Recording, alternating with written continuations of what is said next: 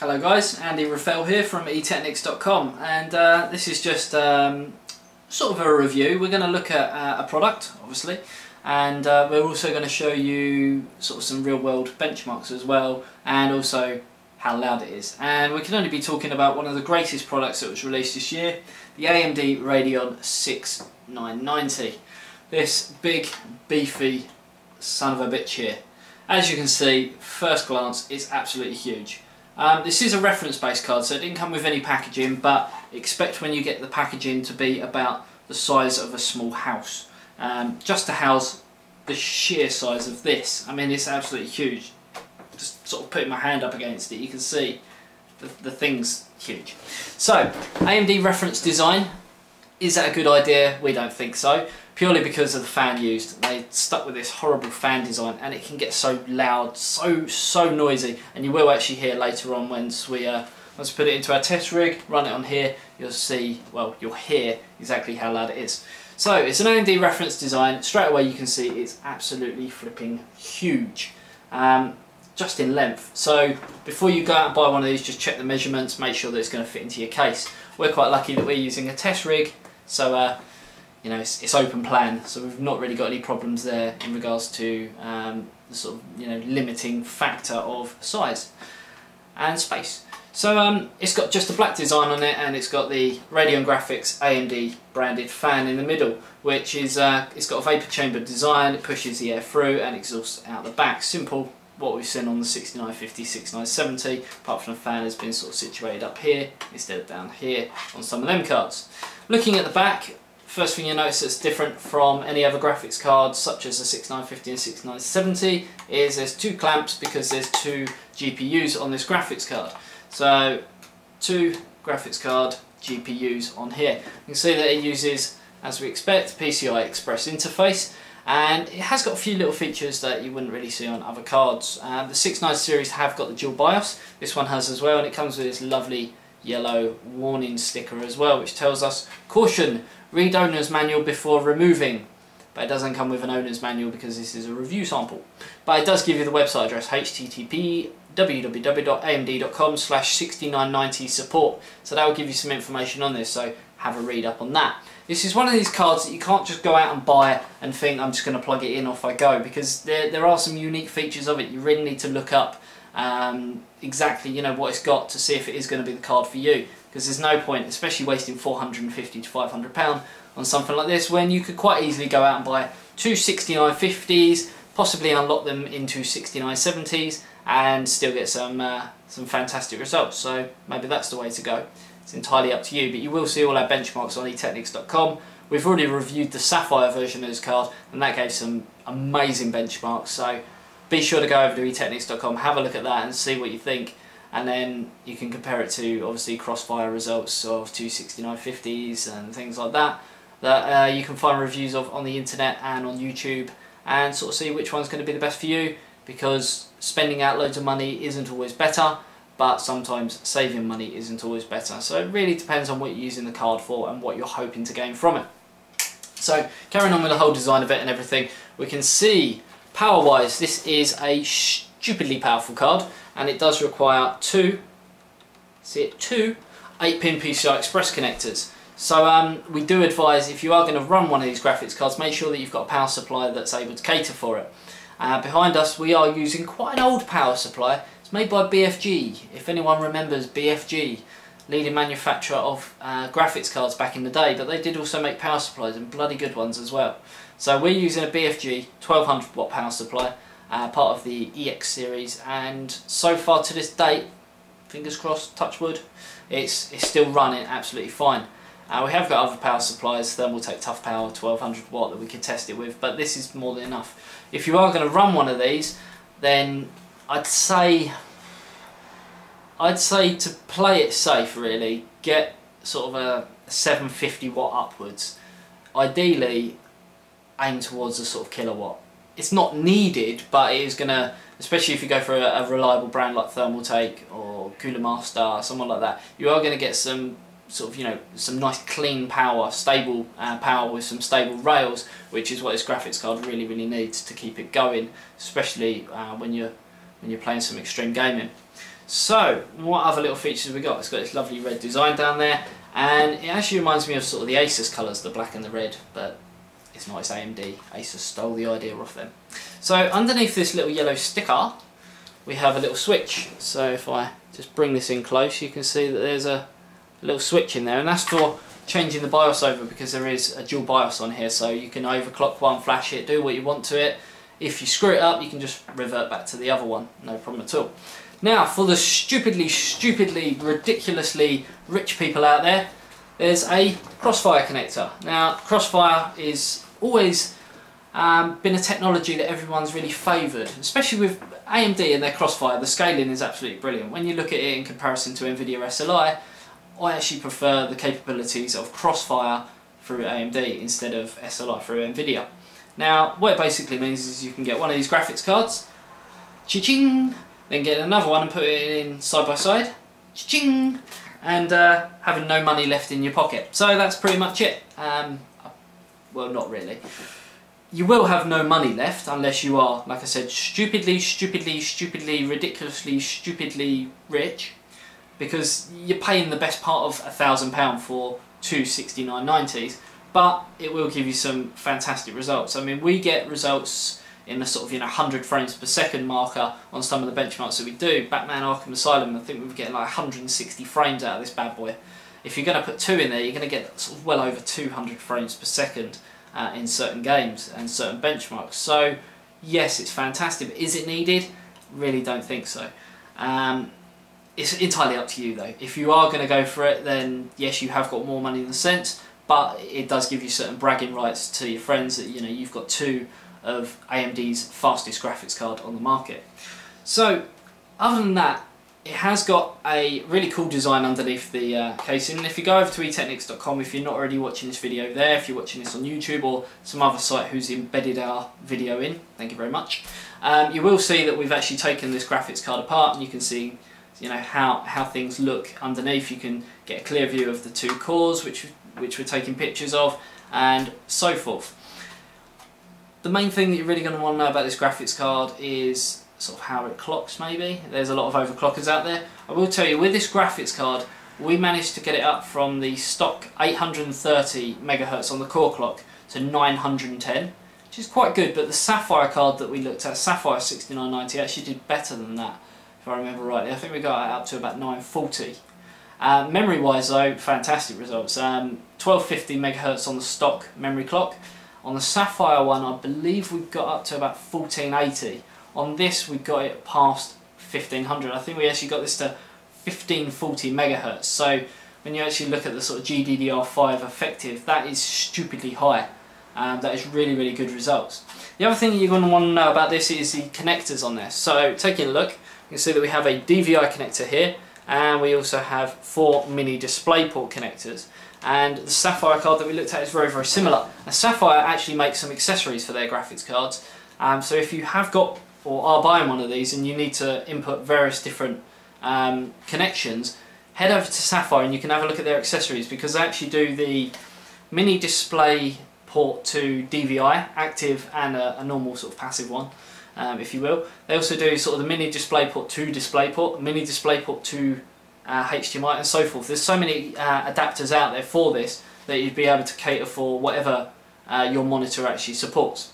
So hopefully that gives you a, an idea as to what this graphics card is all about, how big it is, how chunky it is, um, whether it will fit in your case or not. But the best thing for you to do is look at what we're going to uh, do next. We're actually going to install this graphics card into our Crosshair 4 Formula AM3 motherboard test rig and we're going to run uh, Heaven. We're going to show you how noisy the fan can get. Uh, but your best bet really, if you're not watching this on eTeknix.com, head over. The uh, link is actually in the description just below this video if you're watching this on YouTube. And uh, head over to there where you can see all the benchmarks in, you know, uh, and see how it actually compares to other graphics cards on the market. We'll show you exactly how it overclocked and you can see exactly what we thought on the graphics card, whether we'd buy it or not, what the pros and cons are, and so forth. So uh, hopefully, you know, you'll, you'll have a look at that on eTeknix.com, but for now, take a look at what we're doing over here. So what we thought that we'd do is we've already reviewed a 6990 in the past from Sapphire and if you are on YouTube you can actually watch a little video that we did. If not head over to eTeknix.com there's a full written review on there including the video as well. But there is one thing that we didn't really do and that was show you how noisy this card can get. At the moment the card's just sitting idle on our Crosshair 4 formula AM3 motherboard. Uh, the only other th sort of fan really. You got one in the power supply which doesn't really generate a lot of noise and then you've got the CPU cooler. Um, if I just sort of stop talking for five seconds you can hear how loud it is. So as you can hear nothing really too extravagant. But um, what happens when you put a little bit of load onto the graphics card? I'm not talking about mass amounts of load, I'm talking about a little bit. I mean at the moment we're sitting here on a comfortable GPU temperature of 52, 53 degrees and that's using GPU Z. If we actually go into Catalyst, just like all sorts of software out there, it does uh, give you various different temperatures, um, but Catalyst is actually showing the same, 53 degrees. So if we zoom in a little bit, you can see that. 53 degrees and the fan speed is at 28%, so not a mass amount. But what we're actually going to do is we're going to run Heaven, AF on 16, AA on 8, and we're going to run that and hopefully you should be able to hear exactly how noisy this graphics card gets above me. I know it's all well and good, a lot of people say, well, you know, graphics cards, they do get, you know, a little bit noisy, but there's a difference in my book um, between a little bit noisy and very noisy. So if we start the benchmark on this, I'm also going to sort of show you what sort of frames that you can get with this card in Heaven uh, because we do do a written review and we show you all the benchmarks there but I'm guessing a lot of you on YouTube want to see exactly you know how the graphic detail and everything looks. So straight away I can hear the fans getting a little bit noisier, nothing too extravagant yet but just give it a minute. A little bit noisier still and we're getting 63 frames per second so uh, just have a little listen.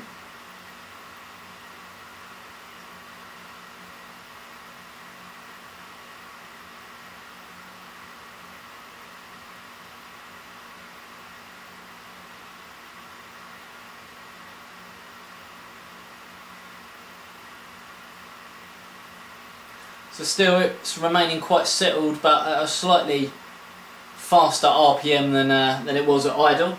And we're getting average frames of 67.6 frames per second in Heaven. And this is, uh, as we said, with AA on 8 and AF on 16. Other than that, everything else is on default.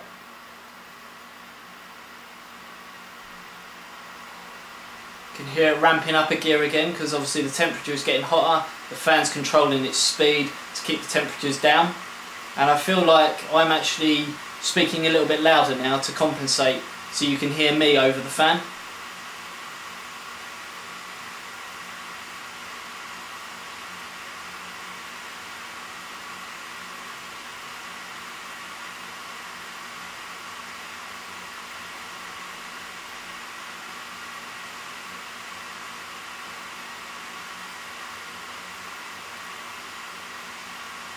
So hopefully you can still hear me. I am speaking a little bit louder than I was at the start of this video and that's purely because I've got this right in my ear behind me so it does sound very loud to me.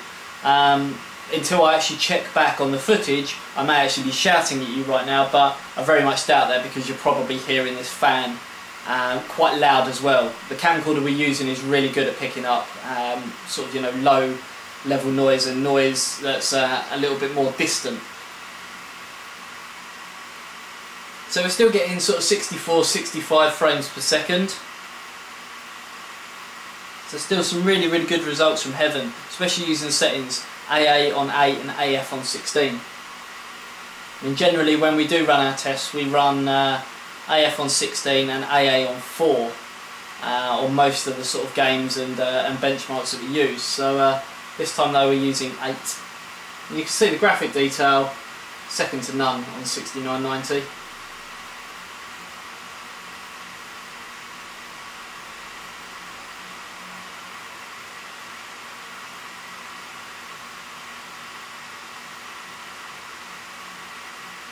We are coming towards the end of the uh, of the tests for Heaven. We're on stage 20 of 26 now. So it's just going through various other parts of the technology behind this benchmark, including the volumetric lighting, tessellation.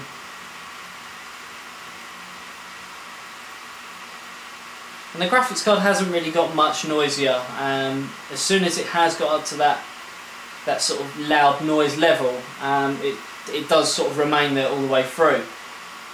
Obviously, it does sound a lot louder now because it's in an open test bench. If it's inside a case, it is going to be a little bit quieter.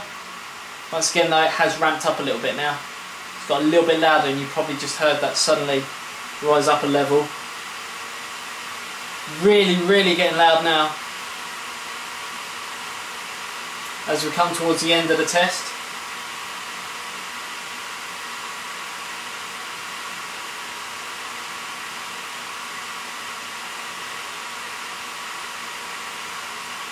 And that's the test just about finished and it is extremely loud in my ear now. And as you can see, frames, if we zoom in, you can see we're getting 67.7, the score, 1706. We had a minimum frames of 19.5 and a maximum of 124.8. So uh, very, very good results there. This is using the Phenom uh, 2X6-1100T hexa-core processor, 4 gig of Kingston um, DDR3 HyperX 1800, the Radeon 6990,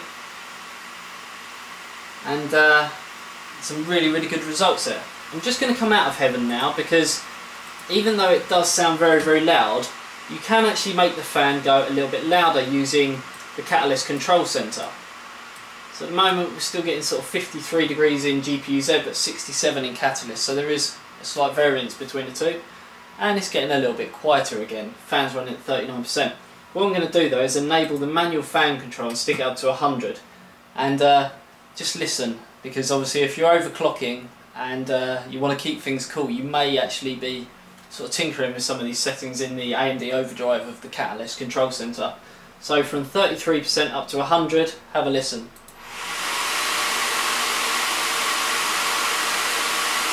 Now I really, really am having to shout. You can hear that uh,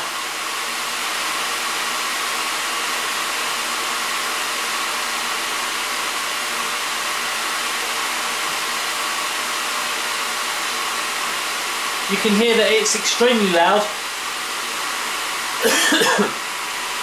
Actually sounds like it's going to take off. And it's got quite a distinct whine to it as well at that, at that sort of speed. You can hear that it's not just the noise of pushing out air, which is pushing out a lot of air exhausting out the back and a little bit out the front as well. You can hear that it's got that sort of whooshing noise pushing the air out but also a very distinct whine, there it is,